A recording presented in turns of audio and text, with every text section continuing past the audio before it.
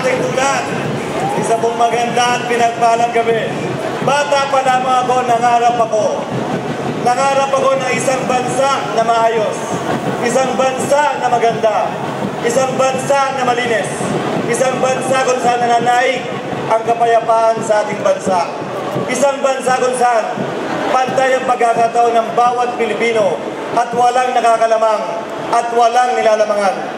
Layunin namin ni Senator Grace, magtayo ng isang pamahalaan na binubuo ng mga katangian, prinsipyo at katagangyan. Isang gobyernong agad kumikilos at marunong maawa sa kababayang nasalanta ng bagyo. Isang gobyerno na marunong din tumawa at magsaya at magbunyi kapag may Pilipino nagtatagumpay sa anumang larangan o sa anumang paligsahan. Isang gobyerno na umaakay at tumutulong lalo na sa mahihirap at nangangailangan.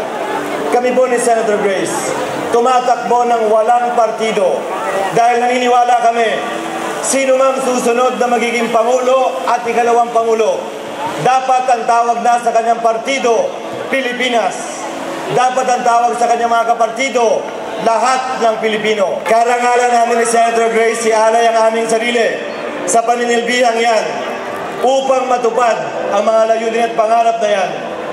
Sa araw po na ito, sisimulan natin tahakin ang landas upang matupad hindi ang pangarap ko, hindi ang pangarap ni Senator Grace, hindi ang pangarap ng lahat ng buong buo sa Team Galing at Puso, kung hindi ang pangarap ng bawat Pilipino, ang pangarap ng bawat isa sa atin sa susunod na 80 at siyam na araw matapos ang gabing ito.